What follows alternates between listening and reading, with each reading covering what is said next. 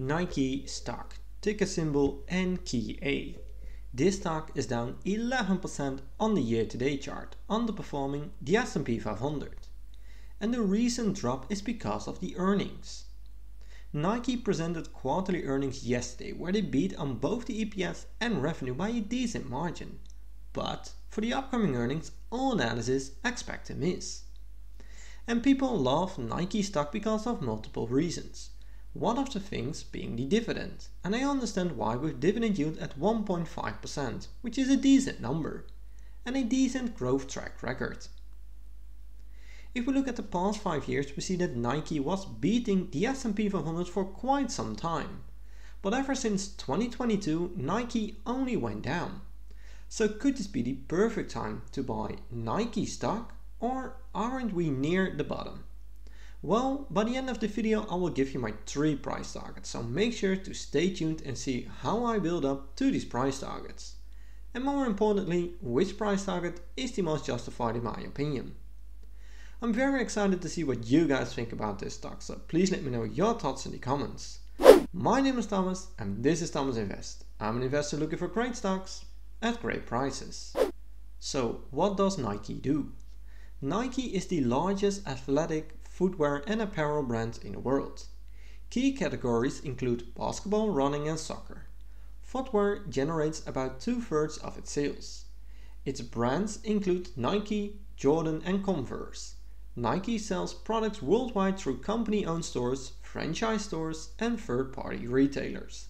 The firm also operates e-commerce platforms in more than 40 countries. Nike reported a revenue of 12.4 billion, of which Nike Direct generates 5.4 billion. Nike brand digital sales decreased 3%, which is kinda disappointing to see. Wholesale revenue went up 3.3%, reported at 6.6 billion. Gross margin increased 150 bps to 44.8%. Selling and administrative expenses increased 7%, and this is something that I don't like. In here we see that revenue is flat year over year, which is again disappointing to see. Gross profit increased as mentioned before and so did the expenses, which is something that I don't like of course. EPS is going down 4% year over year, also not looking any good.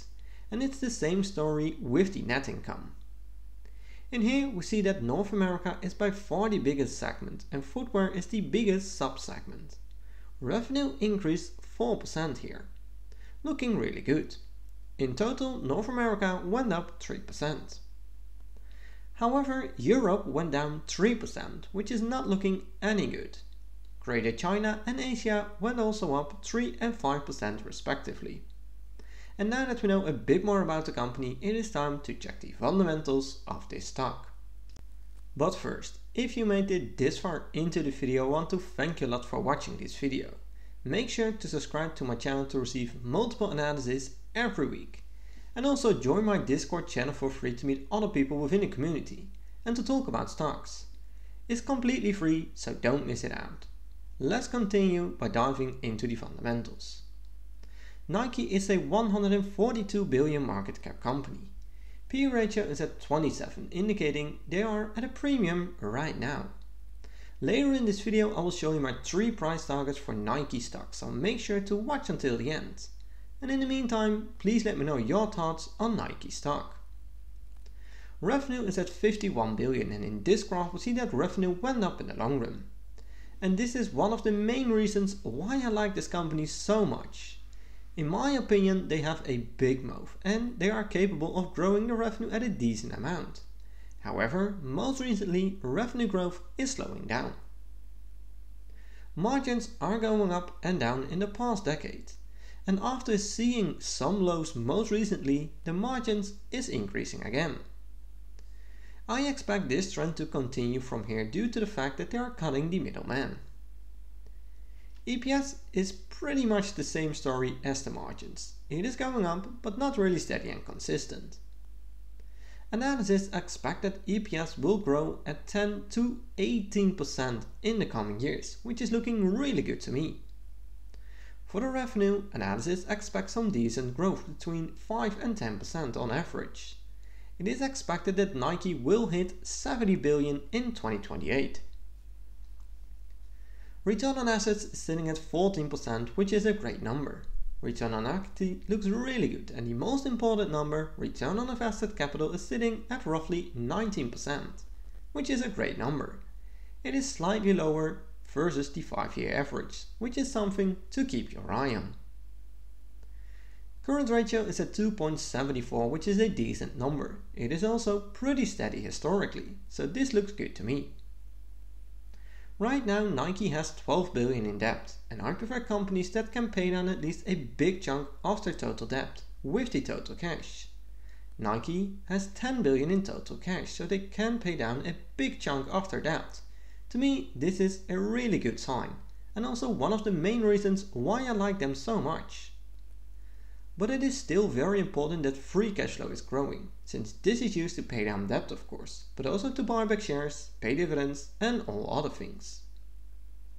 And here we see that free cash flow is going up in the long run, but it is not always steady and consistent. Shares outstanding are decreasing in the long run, which is something that I really like. However, you could argue if this was the smartest thing to do when the stock is at a premium.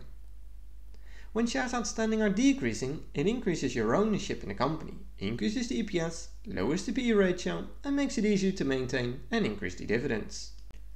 And since we're talking about dividends anyways, dividend yield is sitting at 1.5% which is a decent number. I would love to see a higher number here, but it is still looking pretty good. Annual payout is at $1.48 and payout ratio is at 40%. I'm not sure why Seeking Alpha is not displaying the payout ratio here. I prefer 50% or lower, so right now they have 60% left in cash to buy back shares, pay down debt, do acquisitions and all other things. The 5-year growth rate is at 11%, which is a great number. They have increased the dividends for 11 years in a row, which is also pretty impressive. And if you take a look at these numbers, the dividends paid since 2012, you see that Nike did increase the dividends at a high pace. It is also looking really consistent. Payout ratio is a very important metric with dividends. It tells you if the dividends are safe.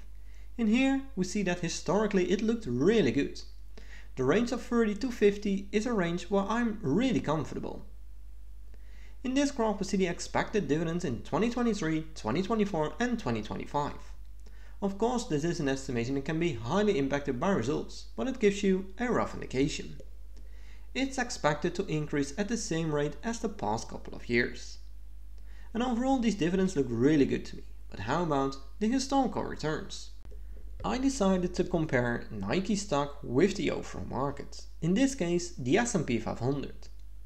On the 5-year chart we see that Nike underperformed the S&P 500 big time with only 20% return including dividends.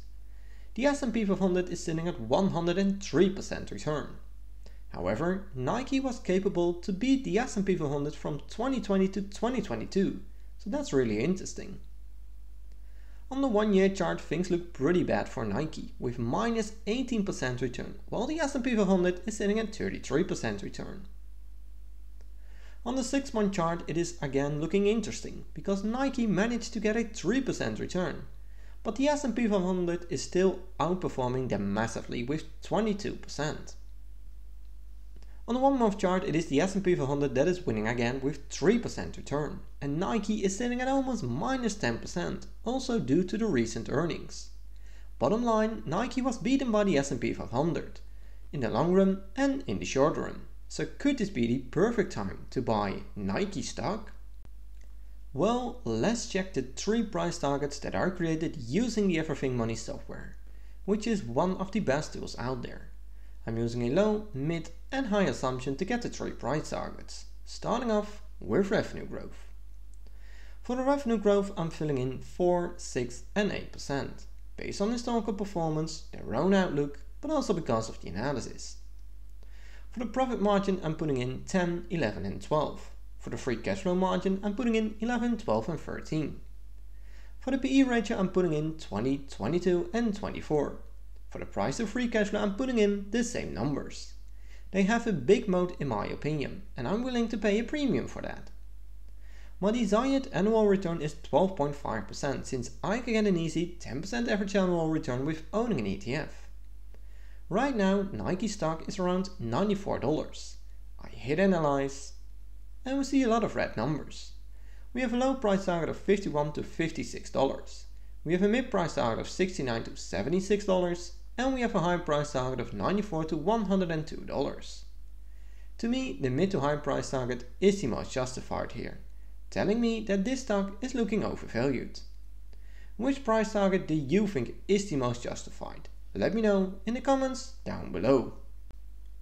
My final conclusion is that Nike really needs to step up from here. I think most fundamentals look really good, but the margins need to increase and revenue needs to increase again.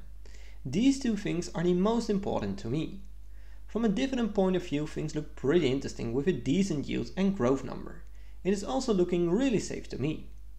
From a value point of view, I'm getting more excited as the time passes by. The company keeps on improving and the stock price goes down. This could be an ideal scenario.